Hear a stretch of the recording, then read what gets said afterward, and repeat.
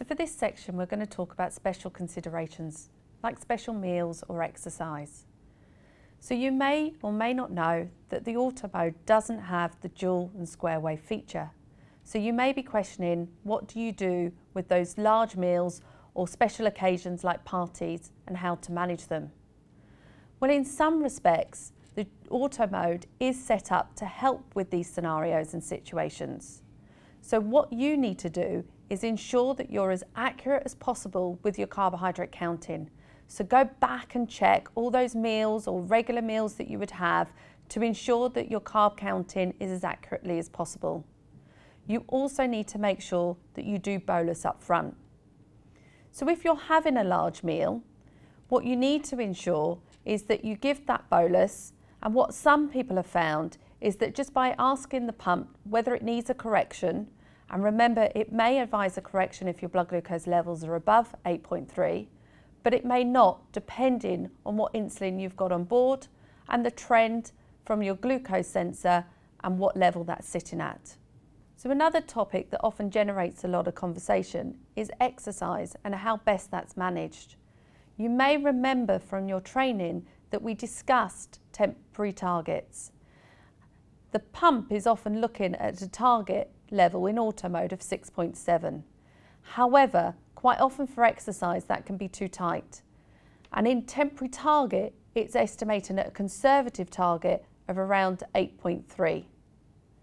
Please do remember when exercising not to carb up front with the exercise as the pump will start to give you extra basal to cover the food that you've just had at a time where you don't want extra insulin on, on board because of the risk of hypoglycemia.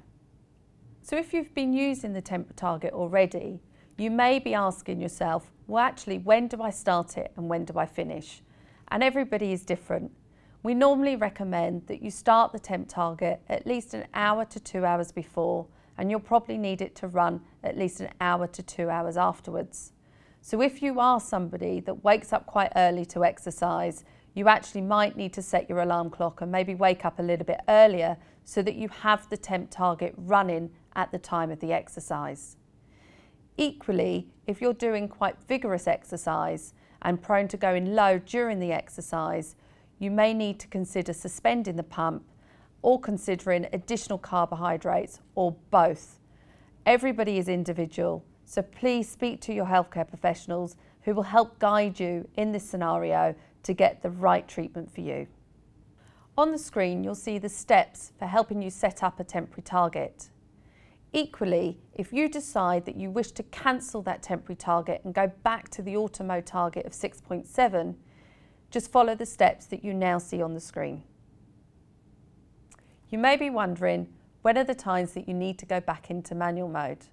So exercise and sickness can be a good example of this. So again, the goal is to stay in auto mode for as long as possible. But due to the higher adjustments and flexibility often needed in these scenarios, you may need to exit into manual mode. In which case, please speak to your healthcare professionals about a plan for these scenarios. So here on the screen, you can see the steps for exiting auto mode to go into manual mode. And again, here you can see what you would need to do and the steps that you would need to follow to get back into auto mode. But please do remember that the system will ask you to link in a blood glucose level at this point. So in summary, this system is a tool for helping you achieve your diabetes goals. It's not a cure. Set yourself realistic expectations realizing that there will be times when you are high and still times where you may go low. And what we're trying to achieve is that goal of maximising your time within that target range of between 4 and 10. Hopefully this system will allow you to have more headspace away from diabetes.